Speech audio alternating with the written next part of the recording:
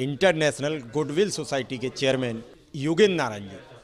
पूर्व I S देश में शांति बहाली के लिए पूरे प्रयास पर लगे हुए हैं। के लिए इनकी पूरी, इनकी संस्था काम कर रही है।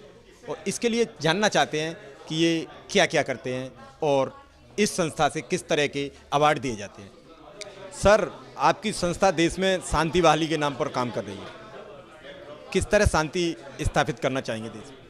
ये सोसाइटी हमारी स्थापित हुई थी उन्नीस सौ बयासी में और जस्टिस नगेंद्र सिंह, जो इंटरनेशनल कोर्ट ऑफ़ जस्टिस के प्रेसिडेंट थे उस समय, उनकी ये सोच थी क्योंकि वो ये महसूस करने लगे थे कि विश्व में बहुत अशांति फैल रही है, एक न्यूक्लियर वेपन्स की रेस चल गई है, विभिन्न देश अपने अपने मिसाइल्स बना रहे हैं और एक बड़ा वैसा वातावरण हो रहा है जिसमें आक्रोश भी है और आपको एक सद्भावना की अभाव है। तो उनका ये इनकी सोच थी कि अगर ऐसे संगठन बनाएँ जैसे International Goodwill Society of India तो उनके जो सदस्य हैं उनके द्वारा जिन जिन ज़िलों में रह रहे हैं इलाकों में रह रहे हैं तो जहाँ वो स्थानीय समस्या हैं उनको तो दूर करें। ही दूसरा हम लोग अंतर्राष्ट्रीय स्तर पर ये कोशिश करते हैं कि जैसे न्यूक्लियर वेपन्स की रेस चल रही है। हम उसको कंडेम करते हैं। और हम लोग हर साल एक रेजोल्यूशन पास करते हैं यूएनओ को भेजते हैं कि we condemn the nuclear race और इसको रोकना चाहिए और डिसआर्मामेंट की तरफ़ जाना चाहिए। अब अंतर्राष्ट्रीय स्तर पर जैसे आपके हम लोग जो आ, वो अवार्ड दे रहे हैं पीस प्राइज़ का वो हम लोग दे रहे हैं चिन्मय मिशन का। और हम इसलिए दे रहे हैं कि इन चिन्मय मिशन की शाखाएँ जो हैं सौ शाखाएँ तो देश के बाहर हैं और 200 शाखाएँ भारत के अंदर हैं और इनके जो डिवोटीज़ हैं, अधिक संख्या में हैं।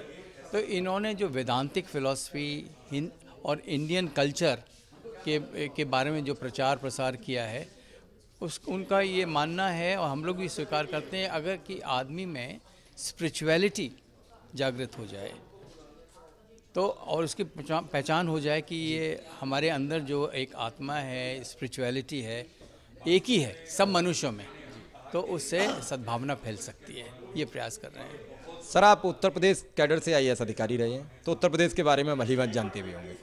उत्तर प्रदेश में खासकर पश्चिमी उत्तर प्रदेश की जब हम बात करते हैं तो हिंदू मुस्लिम से, मुस्लिम हिंदू से, जातीय हिंदू हिंदू से अगर भीम आर्मी वाले हैं तो सवर्ण से, सवर्ण है तो भीम आर्मी से कहीं ना कहीं भेड़ा बैठा है। जिसे देसी भाषा में कहा जाता है, भेड़ा बैठा है।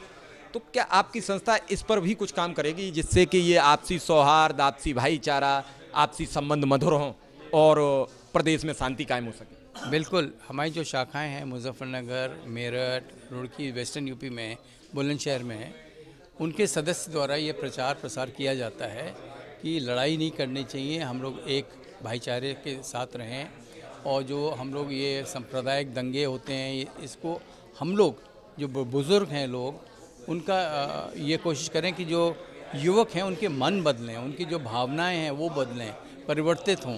क्योंकि देखिए एक कहावत है कि wars are born in the minds of man and it is in the minds of man that we must get seek peace तो अगर मन बदल जाता है तो शांति स्थापित शांति स्थापित हो जाएगी। इसलिए हम लोगों की कोशिश ये है कि मन परिवर्तन करें। विचार जो दिए गए जो विचार होते हैं युवकों में और फैलाए जाते हैं, सब सांप्रदायिक विचार फैलाए जाते हैं, उसको रोकथाम करें।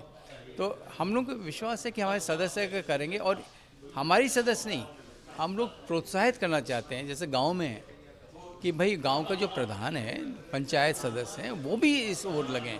कोई ये हमारा संगठन का ही काम नहीं है। हमारा संगठन का तो ये काम है कि इस शांति की ओर जो हम कदम उठा रहे हैं तो उसका प्रचार प्रसार करके हम प्रोत्साहित करना चाहते हैं, और लोगों को भी। It should be a people's army to fighting for peace शांति की भावना के सर, जैसे अभी आपके कुछ साथी हैं, वो काम कर रहे हैं मुजफ्फरनगर में, मेरठ में। क्या फीडबैक है? अभी कुछ शांति की ओर बढ़ रहे हैं या फिर अशांति के ऊपर जो राजनीतिक आका जाते हैं फला दिन किसी ने कुछ बोल दिया फला दिन किसी ने मतलब रोज़ एक जहर घुलता है। तो क्या इसका असर जा रहा है या आपके द्वारा जो लोगों के काम किया जा रहा है उसका कुछ पॉजिटिविटी आ रही है?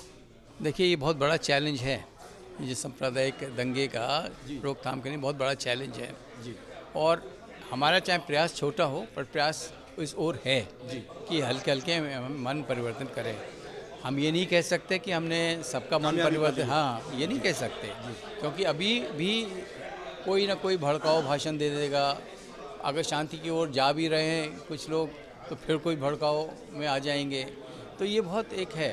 तो जब तक हम लीडर्स को कन्विंस ना करें जो उनके नेता हैं कि भाई देखिए आपको क्या फ़ायदा है लड़ाई करने से? किसकी? आप दोनों तरफ़ से जाने जाती हैं। दोनों तरफ़ के बच्चे मरते हैं, क्या फ़ायदा होगा? तो ये हम लोगों ने किया। ये कर रहे हैं। हम ये नहीं कह सकते हमें पूरी सफलता मिली, पर एक छोटा सा प्रयास है। हम लोग करते रहेंगे, जब तक हो।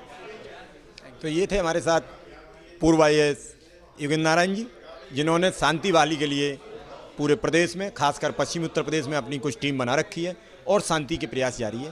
उन्होंने बड़ी बेबाकी से कहा कि ये हम प्रयास कर रहे हैं, अब कितने हद तक इसमें कामयाबी मिलेगी, ये तो आने वाला समय ही बताएगा।